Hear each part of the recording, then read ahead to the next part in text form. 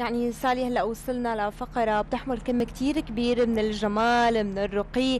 هو هو أكيد الخط العربي يلي حمل ثقافة وأدب وجمال على مدى قرون وأعوام كتير طويلة ساهم بتزيين وزيادة الجمال بمختلف مجالات الحياة. أيضا ممكن نشوفه ببطاقات المعايدة ممكن نشوفه ببيوتنا بأماكن عملنا بكل مكان عم بيساهم بزيادة نسبة الجمال. أكيد سالي عم نحكي عن الخط العربي. أكيد الخط العربي ما في أجمل منه. وعنه بالخط السهل وهو إعجاز مثل إعجاز القرآن الكريم لأنه نزل القرآن الكريم باللغة العربية. هو إعجاز الخط العربي اللي دائما آه، حتى بدول الغرب بيسألوا عنه حتى بلوحاتهم بيحاولوا أنه يكون موجود الخط العربي الخط المميز. لنتعرف أكثر عن هذا الموضوع معنا الأستاذ أدهم فادي الجعفري مدرس مادة الخط في معاهد دمشق وكاتب المصحف الشريف. أهلا وسهلا فيك. أهلا وسهلا. أهلا وسهلا. يسعد صباحك. صباح الخير رمضان كريم. يعني اليوم أستاذ عم نحكي عن الخط العربي. خلينا بالأول ناخذ لمحة عن الجماليه عن مستوى الجمال والروحانية الموجودة فيه. طبعا الخط هو التدوين الكتابة هي نعم. التدوين والعلوم بحاجة إلى تدوين وهذا التدوين له وظائف في على مر التاريخ ومن أسمى وأقدس شيء هو كتابة آيات القرآن الكريم نعم. التي آه، بدأ الخطاط والكاتب بالارتقاء بفنه حتى آه، آه، يوصل هذه القدسية نعم. إلى الناظر وإلى القارئ. فآيات القرآن الكريم آه، يعني الحقيقة لم يتطور الخط إلا خدمة للقرآن الكريم. تماما. وهذا الارتقاء العالي والقدسية وإيصال هذه الآيات والمعاني المقدسة إن كان في المصاحف أو كان في اللوحات. نعم, نعم. فوصل إلينا القرآن الكريم بكتابات بعدة خطوط عبر التاريخ. فكتب اولا بخط الكوفي القرن الأول هجري تمام ومر أيضا بمراحل وهي تطور الكتابة وتطور في تدوين القرآن الكريم اولا ضبط نقاط الإعراب نعم وإعراب القرآن ثم نعم. أيضا وضع نقاط نقاط أخرى وهي نقاط الإعجام نعم. فاولا كتب القرآن بدون تنقيط وبدون تشكيل بعد ذلك بدأ التطور اللغوي والجمالي. نعم. عم نشوف بين إيدك شيء بدك تحكي لنا عنه. نعم. آه، ونشرح أكثر عنه. يمكن بخطوط مختلفة نعم. ولكن ما صب هو الخط العربي ولكن بطريقه مختلفة بانواع هي تماما. هي آه، هذه المصاحف الموجودة في المتاحف. نعم. وقد صورت هنا في هذا الكتاب نعم. آه، على مر التاريخ مثلا آه، نأخذ آه، بناء الكوفي القرن الأول هجري وهنا في بعد ذلك أيضا تطور الكوفي إلى أنواع أخرى هنا نعم. في القرن الثالث الهجري وكيف بدأت التشكيلات ووضع الزخارف والتذهيب بالذهب الخالص هنا بسم الله الرحمن الرحيم. إنا أنزلناه في ليلة القدر وما أدراك ما ليلة القدر. ليلة القدر خير من ألف شهر. تنزل الملائكة والروح فيها بإذن ربهم من كل أمر. سلام هي حتى مطلع الفجر. نلاحظ هذه الجماليات العالية في الحرف وفي إتقان الكتابة وأيضا التشكيلات بلون مختلف نعم.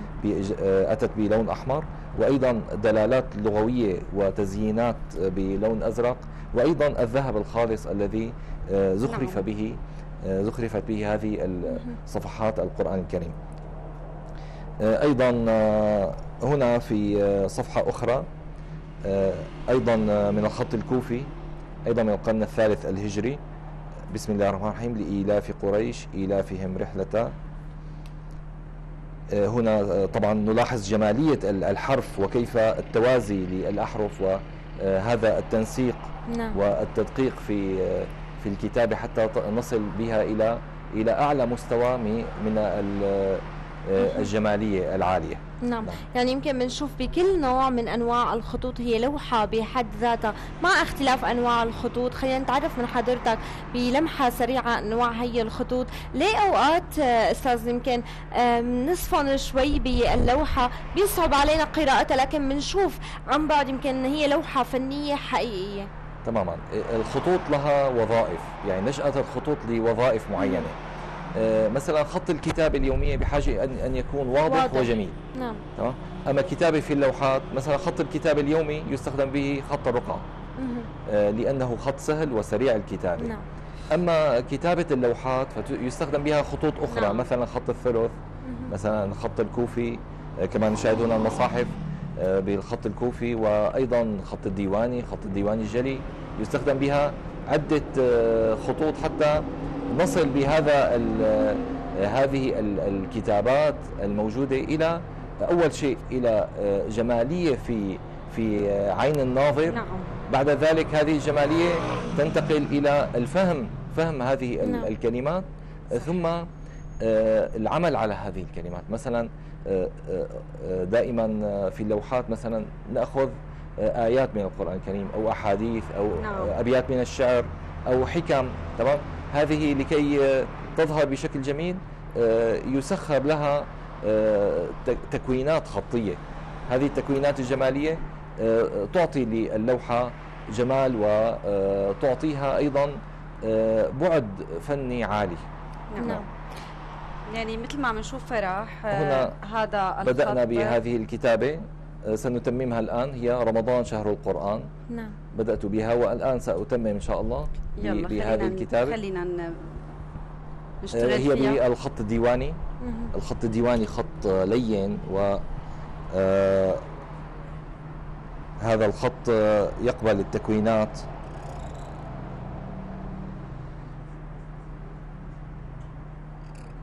آه لإيصال إلى الناظر. هذه المعاني الجميلة وهذه آه، الأفكار الفكر في داخل اللوحة. جميل. نعم. راحة للعين لما بنشوف خط حلو لما بنشوفه فعلا هو لوحة حقيقية. صحيح. نعم هي ال ال الخط تشتهي كتبي. آه يعني نزهة بصرية. إيه تماما. نعم. وهذه التكوينات والمستوى العالي الذي هذا الحبر؟ هذا الحبر حبر مصنع نباتي. نباتي. أي آه، طبعا الحبر النباتي أفضل من الكيميائي. اولا في ما ريحة. في الكتابه لا بالعكس رائحته جميلة, جميلة. يضاف لها العطور و مثل الأقلام اللي بيكتبوا نعم. ونوع الخط هلا اللي عم نستخدمه؟ هذا الخط الديواني. نعم. شو أكثر نوع من الخطوط بتحبه أستاذ؟ والله أنا أحب الخطوط جميعا لأن كل خط له وظيفة استخدام. إيه. ولكن أميل إلى خط الثلث أكثر شيء يعني هو الخط الأشهر. خط شو؟ خط الثلث. الثلث. و... يكون بشكل مثلث؟ لا خط الثلث آه، هو يكتب به محاريب المساجد يكتب به الكتابات الكبيرة اللوحات بهذا الشكل. طبعا هو آه، خط الثلث كان آه، عبر التاريخ الخطوط لها قياسات. فكان يوجد خط اسمه الطومار خط كبير. فأخذ منه قياسات للأقلام نعم. الأصغر خط النصف خط الثلث خط الثلثين. لكن الذي استمر هو خط الثلث. نعم. نعم. الآن نشاهد اكتملت الكتابة بهذا الشكل. خلينا نحطها كان أخذ أخذتها الكاميرا ولكن هي بالشكل الطولي الكامل. نعم. آه، هنا اللوحة آه، بناء رمضان شهر القرآن. على طبقات مبنية بناء حتى نعم. آه، تقرأ من الأسفل إلى الأعلى نعم. نعم. والحقيقة كما قلت قبل قليل بعض اللوحات يعني بحاجة إلى آه، تدقيق في القراءة وهذا يعطيها جمالية نعم متعة كمان الشخص أوقات بيصفن آه، قدام اللوحة أنه نعم. شو مكتوب تمام ويعطيها حركة أيضا نعم.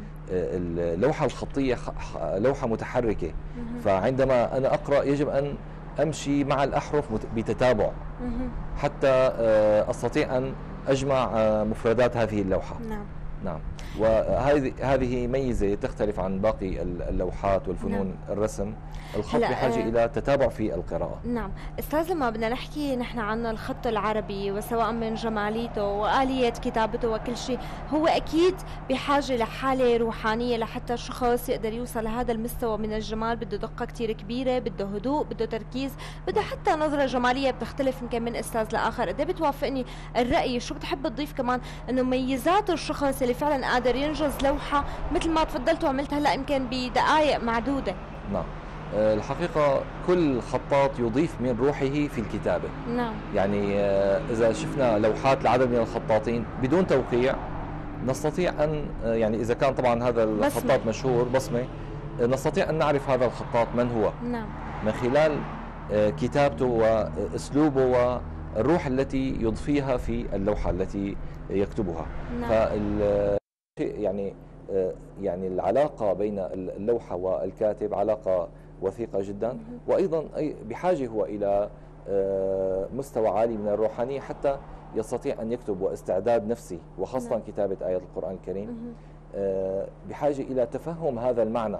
آه، معنى هذه الآية أو الحديث أو بيت الشعر حتى يستطيع أن يكتبه بشكل يصل بالكتابة إلى الناظر ليفهم هذه الكتابة نعم. وكثير من اللوحات لها استخدام ودلالات في بالشكل تفيد المعنى نعم. يعني الشكل يعطي فائدة للمعنى المكتوب آه، يصل بالقارئ إلى آه، يعني وقع في نفسه لهذه المعاني بشكل أكبر وأوسع نعم. نحن في المصاحف دائما يعني نقرأ الآيات بتتابع. لكن نأخذ بعض الآيات ونضعها في لوحة. تمام؟ هذه ما, ما الهدف من هذا الشيء؟ أول شيء شيء جمالي. آه، شيء آخر تركيز هذا المعنى في آه، الذي تعطيه الآية. صح. مثلا والكاظمين الغيظ والعافين عن الناس والله يحب المحسنين. تمام؟ صح. عندما آه، أعلق هذه اللوحة في الآية في في منزلي تمام؟ وأقرأها دائما سيستقر هذا المعنى في صحيح. قلبي. ثم ينتقل إلى الممارسات اليومية نعم. والعمل صح. آه رسول الله صلى الله عليه وسلم كان خلقه القرآن يعني ف هذه الآيات وتمثل هذه هذه المعاني من خلال هذه اللوحات التي نراها اللوحات نعم. الجميلة نعم. نعم يعني مثل ما حكيت آه، آه، أستاذ حضرتك مدرس أيضا بمعاهد دمشق بتدرس كمان نعم. آه، كيف عم بتلاقي هيك الشباب آه، لتقبلهم لهذا الخط الجميل. قديش مثل ما حكيت إنه كل حدا بيعطي من روحه لاي آه، لوحة أو أي كتابة معينة كيف عم بتلاقي التجاوب؟ كيف عم بتلاقي الشباب؟ تجاوب كبير جدا. تمام. الحقيقة الخط آه، فن فطري. نعم. يعني كل الناس بيحبوا الخط. مثل ما قلتي نعم. أول شيء أيضا حتى الأجانب أنا كان عندي عدة معارض في حلو. دول غربية. آه، الزائرين لا يعرفون اللغة العربية لكن يتمتعون بهذه الجمالية نعم. جمالية الحرف. فالطالب عندنا عندما آه، يكتب آه، بشكل جميل يشعر بسرور في داخله. أكيد. والحقيقة يعني أيضا في تحسين خط الطلاب لا يستطيع الطالب أن يكتب بخط جميل إلا إذا أراد هو. يعني هو أولا الدافع منه الذاتي. نعم. لكن إذا كان إجا المدرس قال له بدك تكتب خط حلو وركز عليه بهذا الأمر نعم. لا يكتب إلا إذا أراد هو نعم. يعني نابع منه والنتائج النتائج التي نراها في المعاهد نتائج مذهلة والطلاب كلهم يعني يهتمون بالخط عندهم رغبة بالتقليد و كتابة اللوحات وكتابة صحيح أستاذ فادي يعني يطول الحديث الممتع معك. آه، يعني وأيضا نتمنى لك كل التوفيق بتدريسك بالمعهد وغيره. آه، شكرا كثير لوجودك معنا. نورت صباحنا وشكرا لهذا الخط الجميل اللي أضاف شيء جميل لنا. أكيد بدنا نكرر شكرنا لحضرتك بدنا ننوه إنه حضرتك كمان ساهمت بتخطيط المصحف الشريف الشريف طبعا وقيمة جمالية عم نشوفها أيضا شفناها بهي اللوحة بخلال دقائق معدودة. شكرا كثير لوجودك معنا شكرا لكم وكل عام وأنتم بخير.